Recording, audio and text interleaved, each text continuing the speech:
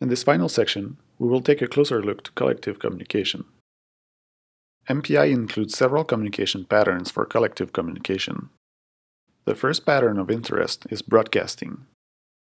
This is the case where one process will send a message to every other processes inside the communicator. A second pattern of interest is scatter. In this case, one process will split its message into several parts and send individual parts to different processes. A pattern related to scatter is gather. It is the inverse process of scatter, where different portions of a message are put back together from several processes. An extension to gather is the MPI allgather, where the gathering process is done for all processes. In this mode, each process ends up with the overall information. MPI also includes collective communication methods to merge values from several processes. For example, the function MPI reduce reduces several values to a single value. The function will apply a reduce operation. In this example, the reduce operation is MPI sum, which simply sums all values into a single value sent back to the process 0. Many other reduce operations can be applied, including min, max, product, the logical AND, etc. To illustrate how to use collective communication patterns, we will proceed with the example of computing pi. There are many algorithms to compute pi. In this example, we will use the following approximation using a summation. As we will increase delta x in this formula, we will get closer and closer to the real value of pi.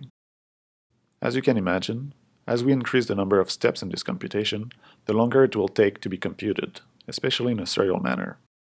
In such a case, it is possible to split the summation over multiple processes to accelerate the computation. So first, let's compute pi in a serial manner. This will be done by simply looping over the number of steps and updating the summation result each step. Finally, we evaluate pi. We also evaluate the computation time and report it at the end. So let's look how long it takes to compute 100 million steps.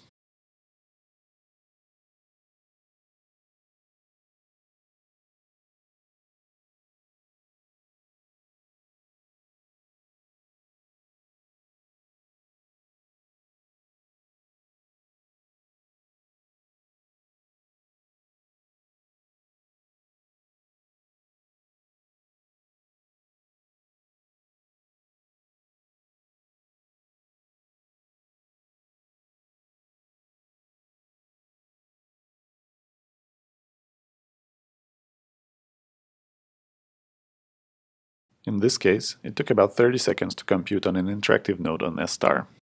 Now, let's build our MPI version. As usual, we first collect information about the MPI COM world to retrieve the rank and size of each process. We also evaluate the number of steps that will be handled by each process, and compute the start and end boundaries.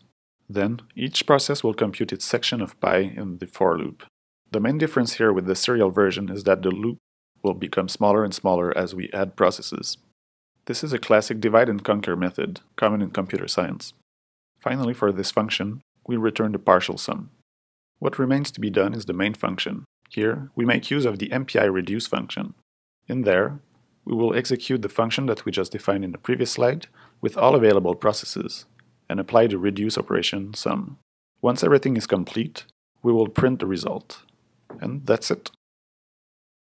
Let's now execute this code to see if it's faster than our previous test. And, indeed, while splitting over 14 processes, it took only about 6 seconds.